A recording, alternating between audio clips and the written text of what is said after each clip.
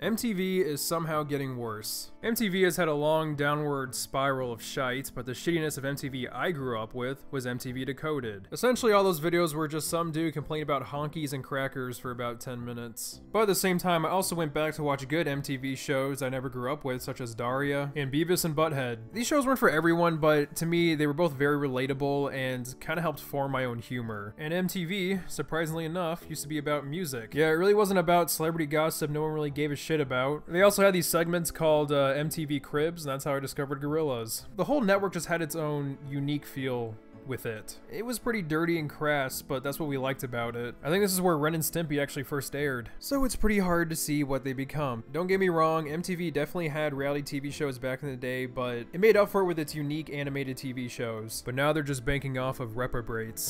But I guess that shit wasn't bringing in enough money. Now MTV is trying to bank off loud, obnoxious twats, otherwise known as mainstream YouTube. I didn't get a lot of sleep last night, so I'm a lot more cranky than usual. For whatever reason, I had a dream about about iDubbbz' girlfriend's vagina flaps flying like Dumbo ears, and that just kept me up all night laughing. I legit couldn't stop thinking about it. So if I seem bitchier than usual, that's probably why. Where are you going? Let's have a little talk.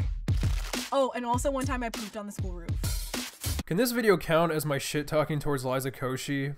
So I can experience less pain. I gotta say, my brain cell count is already depleted. I can already tell what kind of humor these idiots are going for. Whoa, she's telling a funny story about how she took a fat shit on a rooftop. Random dancing. These kids are so goofy. You better not put nothing crazy on the table. This is a condom. Such a blessing, isn't it? I like to think frozen yogurt is a date. Very bold to assume. I like to think frozen yogurt is a date, always. Uh, hold on. That supposed to be relatable? Knowing MTV Decoded, I'm to have to assume that piece of animation is from a segment where it talks about how men need to do better and shouldn't lick women's faces. Yeah, because clearly this is an issue all women face today.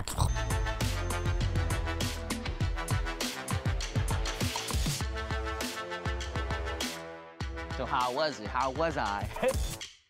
You know, just flashing a bunch of random shit on the screen doesn't take away the fact that none of these people in the video are funny. While we're talking about the editing, besides the seizure-inducing text flashing on the screen, are we really at a point in time where our attention spans are so goddamn low we have to just cut every 0.8 seconds? The clips are just people dancing, making funny faces, and saying a bunch of random shit. Just because you're just throwing a bunch of colorful, flashy noises at us doesn't make it entertaining. In fact, it just makes you come off as obnoxious. Leave them alone, they're just having a good time. I don't care. They're super annoying and I'm really bitter. You can definitely tell it's a date if their armpits are sweating, if they have pit stains. Ah, uh, yes, the relatable parts of MTV. First dates? Oh, well, we've all been there. Here, audience, have some have some generic, bland stories that have no point and are obviously fibbed. They're out there sending 30 emojis, a hey with 10 Y's at the end of it. This type of comedy can work when done right. There's a scene from The Office that's pretty similar to what MTV is trying to produce here. The characters exaggerate on whether this text talk is intimate or not. So, why does this scene work and not the MTV bullshit? Well, for one, there are actual jokes being produced here. It's not just, hey, look, I'm so relatable. Look how many fucking Y's are in my text, and look at all these emojis. Just being relatable isn't funny. There's gotta be some sort of humor behind it. And secondly, the facial expressions are actually funny, because the reactions look normal. They're not trying to look like a cartoon character or anything. It's not a facial expression that says, hey, look, everyone, I want attention. Look at how humorous and expressive I am. Sometimes less is more. I guess the first date is like opening up a carton of milk where the expiration date is rubbed off, so you don't know when it expires. What? Maybe I'm just being stupid, but I don't understand this joke. For all of you who understand the joke, can you uh, post the explanation down in the comment section? Maybe this will be the uh, the first joke that'll make me laugh, but for some strange reason, I kind of fucking doubt it. During school one time. Surviving cafeteria drama? What the hell is this? This sounds like the next issue for Diary of a Wimpy Kid. Greg Heffley versus and Frank! Yeah, I'm sure people like Tessa Brooks were the ones who were getting bullied and not fucking with other people. This kid wanted my Jamba Juice, and I was like, no, it's my Jamba Juice.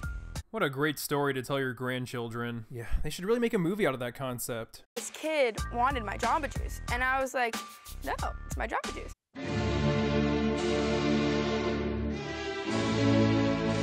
No one is ever gonna be like, I'm on top of the world every single day of their life. Like there has to be lows to have highs. Whoa, I didn't know that. Wow, I, I should really start watching this this MTV. I, I think they got some great advice for people like me. I'd go to the bathroom and I would just sit in there and I would just cry. But it's not even like I was the only one that was crying in the bathroom. There was like groups of us. Like we would all just be like in the bathroom. Like how sad is that?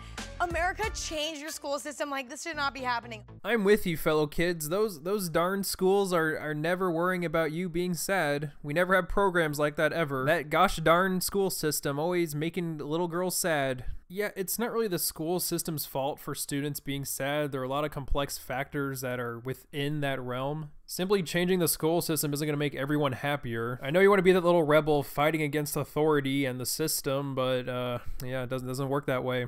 Draw a stop sign, making sure it has the correct number of sides. Eight sides. Six plus two. Listen, this is the show where we take three versions of two items and try to figure out which is the most expensive and which is the cheapest. Get your blindfolds. No, we love blindfolding each other. Whoa, hold the phone there. Did you guys hear that? Those crazy ass crackers, am I right? Wait, I can touch now? Okay, go, go, go, go, go, go. E. E. I'm sorry. What? Is this Chewbacca's penis? Weed! It's weed! Oh my god! I smell it! Oh my god! Y'all have some Swarovski crystals on set. We're not on your level yet, all right? This is MTV. They got no money.